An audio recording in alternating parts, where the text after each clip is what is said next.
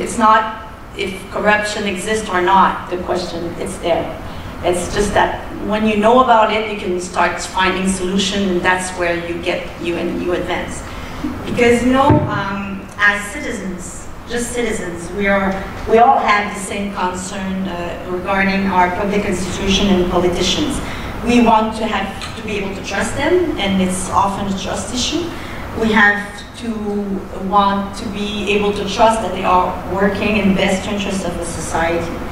And we want to make sure that they are shielded from undue influence of all sorts.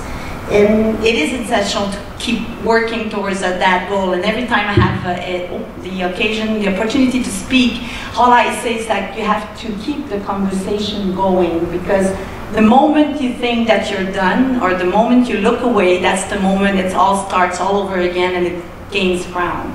So it's not, I don't, I, am not making it like a pessimist story, but it's just like when we talk about it like we do today, it's the way to keep it alive and to be aware. And that's what we did for four years, very painfully, very publicly. We exposed our situation and ourselves, I would say, to the world now, but we gained a lot by doing this. Uh, and we did that for four years with the Commission Charbonneau. And like you're doing today, we also had to learn from other experiences and we have to look elsewhere for answers and ways to analyze these situations. Uh, we had an extensive research department at the Commission Charbonneau. Of, I would say that at the height of the commission, 125 persons were working on that, on that topic with us. Uh, us, the persons, the prosecutors and the commissioners were public, was like, we were just like the tip of the iceberg. We, there was a full body of uh, uh, investigators, analysts, experts, and researchers working to help us uh, move towards that, uh, that move through that mandate. And we had to gather information and opinions from other public inquiries as well uh, on similar subjects that we were facing and that helped us forge a understanding of uh, the situations that we analyzed and we came about and maybe find solutions. Are they the best solutions? We'll see over time, but that's what we thought that we should move that political financing creates a big vulner, uh, vulnerability for our elective, and it's, and it's a way for the private sector to inquire influence and leverage. Uh, it's an, in an ideal world, uh, you should move away from private foundings, but I mean, it's not possible to do entirely. In Quebec, we even raised the bar on public financing. We have a, a pro rata that you could by, by number of votes that you get, you get a certain amount of money. Uh, we raised the bar since the commission because you can, but it's hard to entirely um, eliminate all sorts of uh, public found, uh, uh private funding for this type of situation. But and like I said, in an ideal world, we should we should ban that because to make sure that that we shield our politicians from this kind of undue influence in order to avoid any type of conflicts of interest or appearance of conflicts of interest, even if it's, it's not there.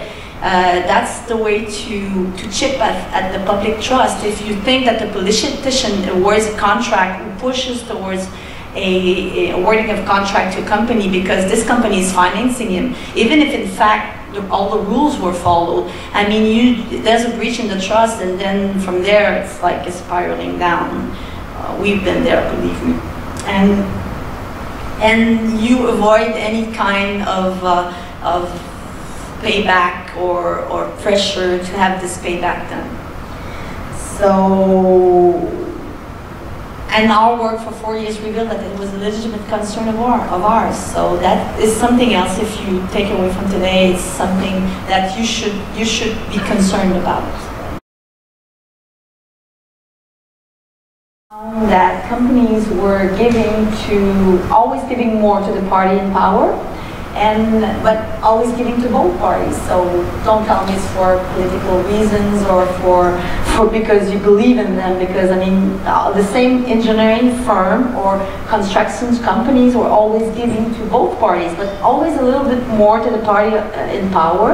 And when and we had a third party in 2005 where it looked like it, it would come ahead and maybe have a chance Uh, of being elected or grab the power and it was a peak in the donation. So this is this is what and, and, and we did like we examined it for 15 years and it was going on for 15 years. So and nobody will convince me that a business is not giving money for business reasons. So if you are convinced of that i mean i don't know what all your arguments are there also in the report, there were many industries that seemed particular, especially in the public procurement uh, section of the report, uh, such as the paving industry. Yeah. And um, or can you speak to a few Well, of the industries? I'm not saying, well, I can't, I can't, I can't say it's because it's all we have that's there, but, but- but our mandate was to examine these situations, so it's a little bit, yeah, it's not, it's not fair to, to pretend that it's, in the- this industry is more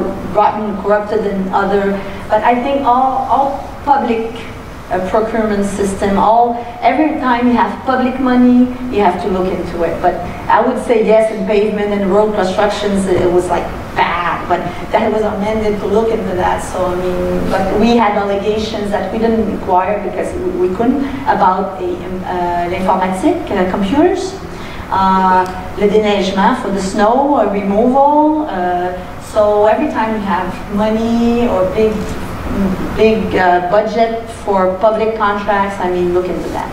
That's one, one uh, piece of information from the international system, which is interesting, is that the um, OECD, the uh, Organization for Economic uh, Development and Cooperation, finds that I think uh, 50, over 50% of uh, corruption happens when there are large in, in public procurement Yeah. because the contracts are so large, and so that's one of the places to look uh, when you're trying to detect corruption. That's where the money is, so. right. So Follow the money. Follow the money. Right.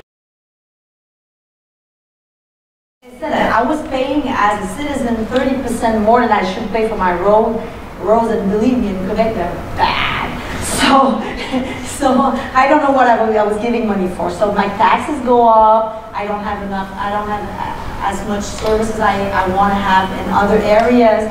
So it's not a victimless crime, it's like we're all victims. And that's a notion that we have to move away from. Public interest is our interest.